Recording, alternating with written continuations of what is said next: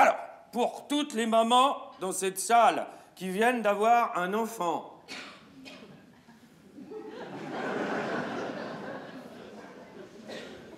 et qui le nourrissent avec du lait fabriqué par Lactalis. Il va falloir en refaire un autre.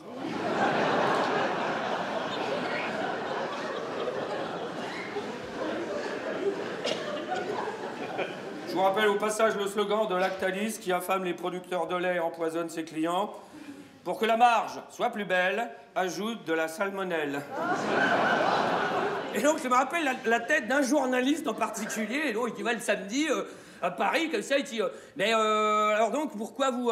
c'est- un mouvement spontané Pourquoi vous manifestez Bah, pour, dégager l'autre con Et là, la tête du journaliste, il fait.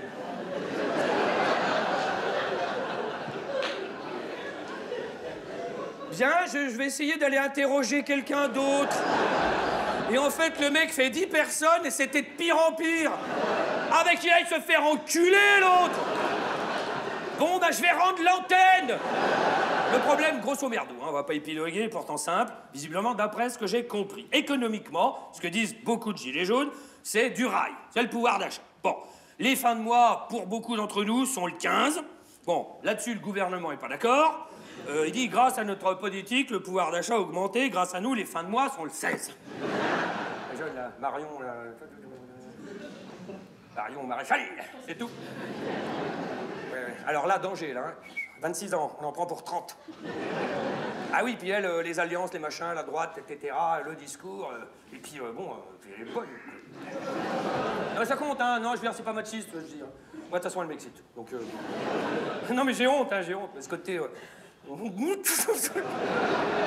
Oh, j'ai honte Je sais pas pourquoi je vous raconte, c'est un fantasme, c'est un- une déviance, c'est ce côté, je sais pas, ce côté blonde aux yeux bleus, boréal, là, oh.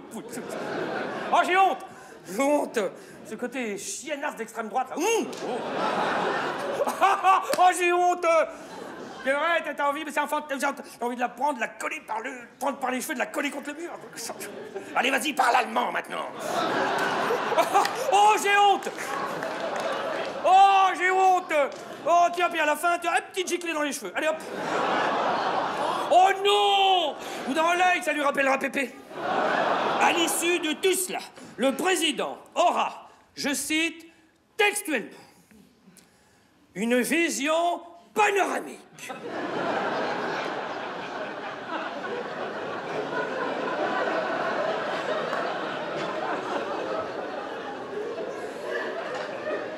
panoramique des résultats pour pouvoir prendre des décisions dans différents champs en procédant par effeuillage.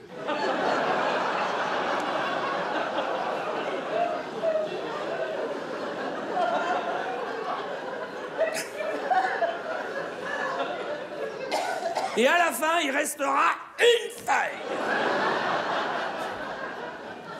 Pas deux. Et sur cette feuille, en lettres de feu, les dix commandements.